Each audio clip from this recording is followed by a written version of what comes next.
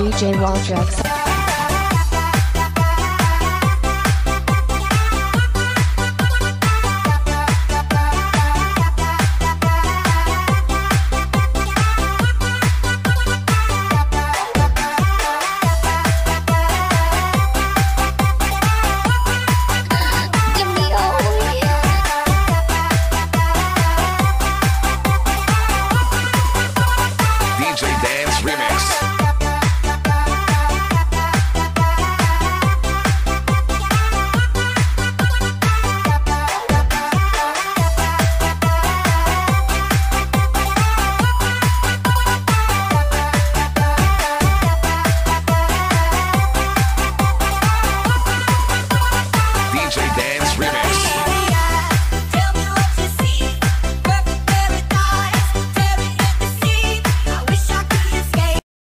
아니 이게 식혜요 이게 바나나예요? 응?